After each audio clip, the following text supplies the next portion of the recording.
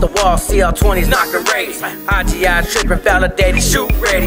Brown incarcerated, got my people living dead. Gang wars back up back to the hoes where they sent me. Raised in this life of crime, down the slide. Pray for those better days, devil on my side. Gang life committed, but we dying over signs. Brown skin tatted up, but we wear that shit with pride. 25 to life cell, living up a row. Hit the yard level 4, eating spreads out of bowl. Bunky going crazy, his appeal going slow. 15 with two strikes, got my time feeling slow. Hey, what's good with everybody, man? I hope everybody's having a productive day, feeling blessed. And like I always say, it's one life, one chance. We only got one chance to do this right. Let's get it done.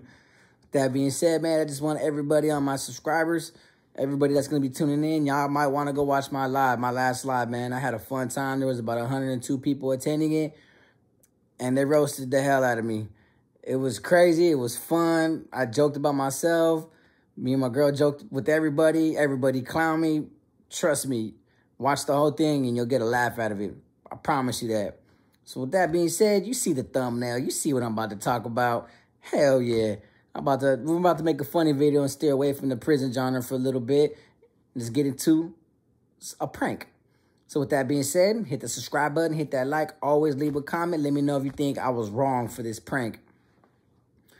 When I was uh when I was younger, my, my mom and my dad, you know, through domestic violence, they separated. My mom started dating this other guy, but this other guy had a baby mama. Yeah, had one of those moms. So that her and my mom were always beefing, trying to squab, trying to meet each other, trying to fight each other, so on and so forth. One night, I went to my, my cousin that I'm always talking about, rest in peace, the 1L1C motto. He was alive at the time. His brother was actually a security guard at the indoor swap meet in Tulare. We left my mom home because we went to my aunt's house to go watch a movie. While we were there, my cousin decides to say, "Hey, let's man, let's let's prank call your mom real quick. Let's give her a little scare." So when I first, when I okay, I, I agreed to it. I was I was I was a kid, bro. I was in like the third grade, and um, so I call we call my mom, and she answers the phone. She's like, "Hello," and I was like, "I'm gonna suck your blood." and I hung up on her. So they start laughing. They're like, "Oh, bro, that's not a prank, bro." I don't. I never asked my mom about that part. She didn't say nothing about that part. My cousin calls her back. This is what a trip. My cousin remember what she was wearing that night, and it's funny how this prank worked out. My cousin calls and he says, "Hey, I'm watching you through the window. I can see what you're doing." She just so happened to be at the kitchen table in the kitchen, and there was a window right there open and he hangs up he hangs up on her she freaks out 10 minutes go by we call her again and she, i don't know why she decided to answer she was like hello and he was uh we're staring at you through the window. We can see what you're wearing. You're wearing this you're wearing that. We're gonna get you. We click on her again. She's freaking out by now. What made it worse is that my cousin came home after his shift and he parked the car in front of the in front of the in front of the grass where the kitchen window was at and he was walking across the grass because he needed to move the hose the water hose. So all she seen was his head and he was wearing a nylon to brush his hair back he was wearing that so all, and my cousin's dark for when it's nighttime so all you seen was a shadow walk by the window so now my mom freaks out bad runs to the room she had those old school cops. I don't uh those old school cop uh batons, the ones that you, you hold it like this and it's a little bit stick out here and it's long back here. It looks looks like a weird uh, weird L. Like P89s or P39s or P80, something like that with a P. She has one, so she grabs it. My cousin goes through the back for I don't know what reason to come through the back. My mom turns off all the lights. My cousin walks in, all the lights are off. And my mom runs runs to him and hits him in the head. Bam! So my cousin dips her. Bam! And he's holding her down. My mom's freaking out, crying. And he's like, Bati, Bati, it's me. What are you doing? And then my mom just breaks down crying. And she goes, man, there was somebody stalking me. They're, they're, they're trying to hurt me. Woo! They start crying. My mom starts crying. We didn't call back. We just went up, watched the movie, didn't think nothing was happening at home. Coming back, Man, my mom and my cousin called the whole Tulare PD. So when we pull up on the block, we see about four or five cop cars, and you see a bunch of cops with flashlights looking through the side of the uh, houses and different in our neighbors' backyards. Cops got the whole street surrounded. And my aunt's like, oh my God, look what you did. My cousin's 16, 17 at the time, out, coming out of high school, and he looks at me and goes, hey, bro, we're going to say it was you, fool, so your mom doesn't get mad, bro. And I'm like, in my head, I'm a little kid, like, freaked out. I'm shocked.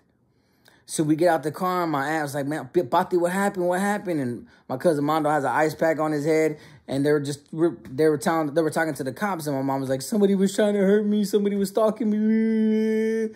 And she's with her boyfriend at the time it took us a little while, and my aunt my cousin were like, Bati, that was us. We were just pranking you. And my mom was like, what? And she was smoking a cigarette. And I remember she threw it on the ground and she stood up and she's yelling, fool, she's crazy. And the cops are, the cops are tripping and my mom's yelling, trying to calm her down. They tell my mom, look, man, it was your son's idea. Don't get mad at him. It was supposed to be funny. In front of the cops.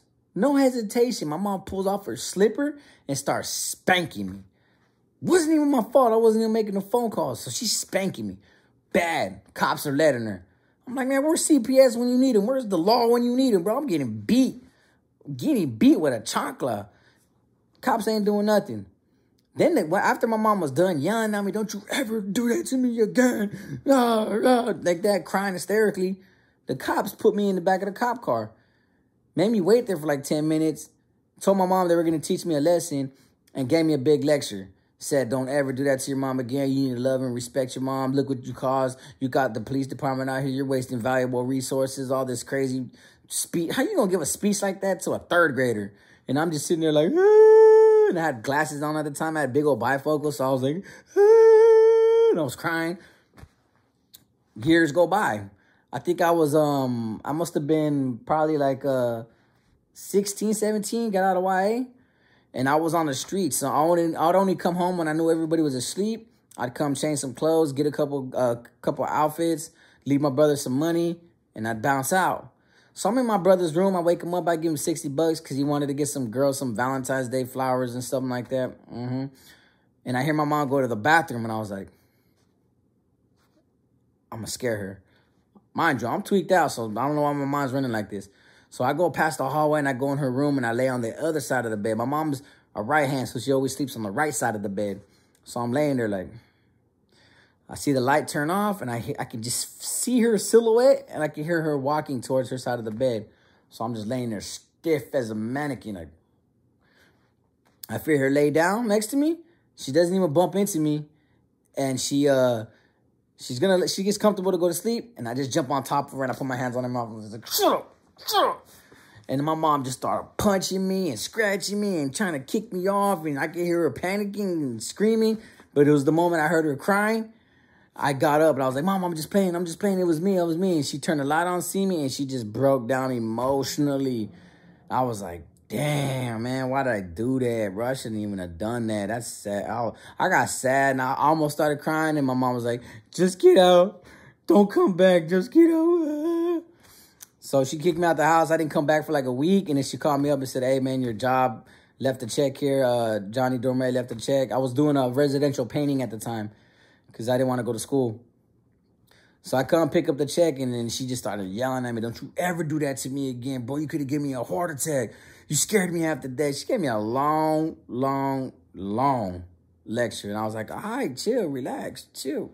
I felt so bad that one of my robberies I did, I robbed a store in Poplar at the time. I hit it for like two registers and a safe. And I had plenty of time. It was like five in the morning when I did it, when they opened up the store. And um, I, we were just chilling, and me and my co-defendants, my, my co-defendant, one of my co-defendants stole a bunch of bags of chips bunch of bags of hot Cheetos. And I got the paperwork that says that the bag of Cheetos that they raided at my house, they took them as evidence. I don't know how that was going to convict me, but they, they took the bag of hot Cheetos as evidence. So my other co-defendant, he started pulling out the chicken tenders and chicken strips and um, um mojos. He's putting them all in bags, bro. Like all this fast, hot food so we could eat afterwards. And I remember calling up my ex-wife at the time, and she was up because she knew what we were doing. We were using her car at the time. And she was like, what's up? I was like, hey, um, what kind of cigarettes did my mom smoke? She's like, GPC 100. I was like, and what kind do you smoke? She told me hers. I was like, thank you. I hang up the phone and I just started grab. I grabbed a uh, bag and I started putting hella cartons of cigarettes in there. Hella, I mean, I stacked that whole bag up with her cigarettes and my mom's cigarettes. I go back to the pad. My ex-wife's up, she's smoking a cigarette, yada, yada, yada. And then she was just nervous and paranoid. And my, I told her, is my mom still asleep? And she's like, yeah. So what I did was to like apologize to my mom. I gave her like four, four, four cartons full of cigarettes. And I left her some money of the robbery.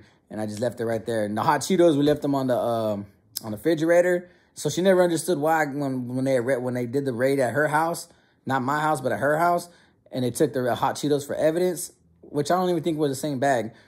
Anyways, she was wondering why they took the, the, the, hot Cheetos for evidence, and I told her, I go, yeah, we had a food. So we ate, we ate while she was asleep. We ate a bunch of chicken tenders, some uh, some red and bean cheese, uh, red and, red and bean burritos from uh, like you would get at a Sierra Mini Mart or something, like a gas station. And we left her some food, like some chicken tenders, some mojos and stuff like that. And then we left.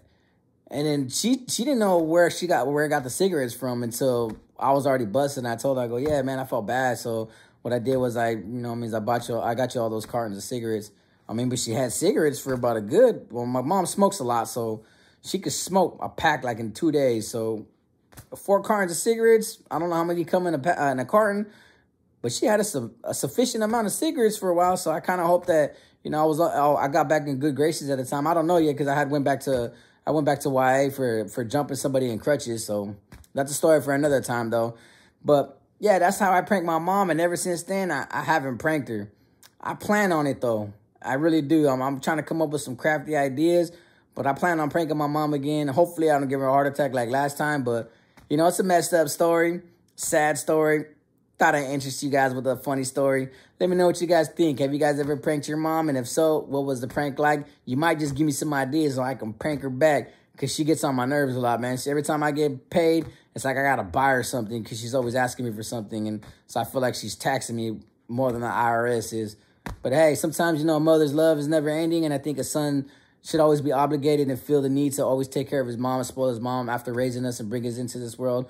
You got to learn to appreciate your mom because they might not always be here all the time. And there's a lot of people that lost their mothers that wish they could be there to spoil them. So I do it every chance I get, man. I spoil my mom. Whatever she wants. If I'm going to the store I call her up, tell her she needs anything, go drop it off to her, so on and so forth. I do my best to take care of my mom. She don't go without. You know, she's asked me for jewelry. I've got her her school desk. I've got her all her school supplies. I do my best to take care of my mom.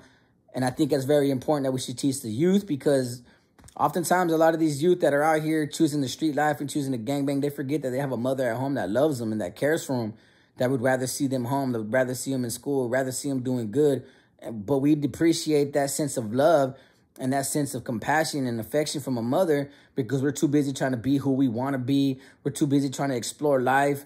And we forget that we forget about the person that gave us life in the first place. And I think that's very important that I need to reiterate to the youth here. So make sure you love your mom, you cherish your mom. If you have a mom, a mom that's in your life, a mom that cares about you, please do so, man, because, you know, it's going to be unfortunate when I lose my mom, man, because that's my everything. That's my queen. That's my heart right there. And that's my gold. So with that being said, man, I hope I give you guys a crazy laugh. You know, stay tuned for more videos, man. Like I always say, it's one life, one chance. When they got one chance to do this right, let's get it done. Peace.